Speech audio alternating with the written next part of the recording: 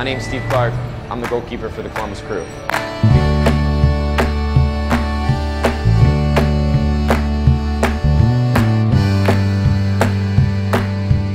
We're at North High Brewing.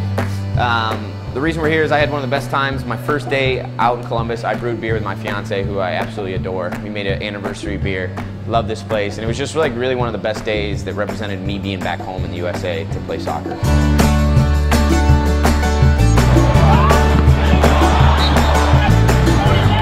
Fell in love with goalkeeping, 13, 14. I stunk, you know, got better. 16, I, I was all right. It started with a soccer camp when I was like 14. This coach was like insane. We were doing these drills, and it was like the most intense things I've ever seen in my entire life. Hope College soccer camp, dude. And this guy, I'm like, this guy's insane, but he's really good, so I'm gonna take that attitude. And I just like stole that from him and I applied it every single day for 10 years.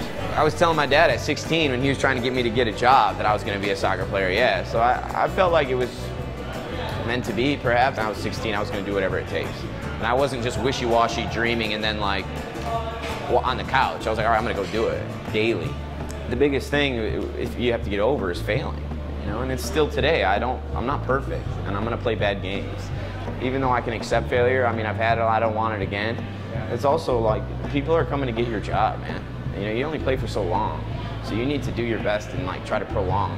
I'm trying to make money for my family. It used to be about me, like, oh, I'm on an ego trip, but now it's like, this is my paycheck, and that's what it is. It's for my family.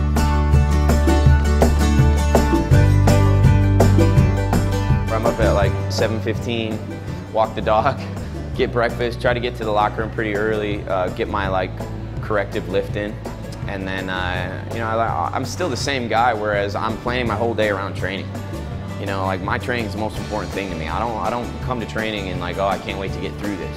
We go six days a week, so. Um, about three hours training and the, what people don't understand is that it's resting is the major thing here. You need your body to be at its peak for two hours so I can't work out for six. I need to play for three two maybe and rest for eight.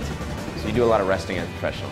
I think the, the number one thing about staying at the level and getting to the level is you need to be at your best every single day. And it's not one good day, one bad. You need to have 75 good days for every bad day. And that's just a number, but you need to be at your best every day.